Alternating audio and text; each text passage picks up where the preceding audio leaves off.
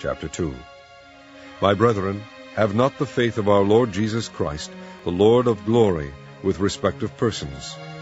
For if there come unto your assembly a man with a gold ring, in goodly apparel, and there come in also a poor man in vile raiment, and ye have respect to him that weareth the gay clothing, and say unto him, Sit thou here in a good place, and say to the poor, Stand thou there, or sit here under my footstool, are ye not then partial in yourselves, and are become judges of evil thoughts? Hearken, my beloved brethren, hath not God chosen the poor of this world rich in faith, and heirs of the kingdom which he hath promised to them that love him. But ye have despised the poor. Do not rich men oppress you, and draw you before the judgment seats? Do not they blaspheme that worthy name by the which ye are called? If ye fulfill the royal law according to the Scripture, Thou shalt love thy neighbor as thyself, ye do well.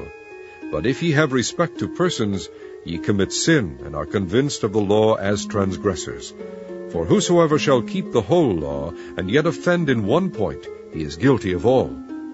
For he that said, Do not commit adultery, said also, Do not kill.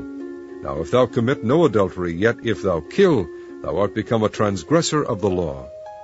So speak ye, and so do. So they that shall be judged by the law of liberty.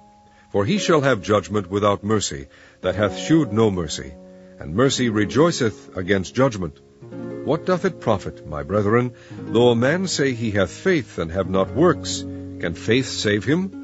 If a brother or sister be naked and destitute of daily food, and one of you say unto them, Depart in peace, be ye warmed and filled, notwithstanding ye give them not those things which are needful to the body, what doth it profit?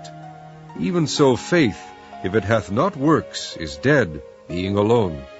Yea, a man may say, Thou hast faith, and I have works.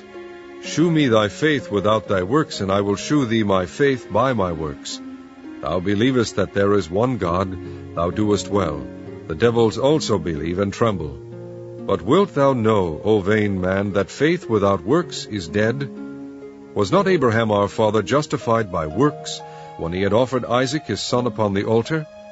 Seest thou how faith wrought with his works, and by works was faith made perfect? And the scripture was fulfilled which saith, Abraham believed God, and it was imputed unto him for righteousness, and he was called the friend of God.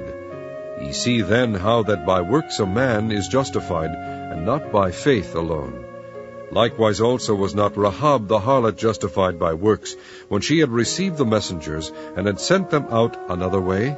For as the body without the spirit is dead, so faith without works is dead also.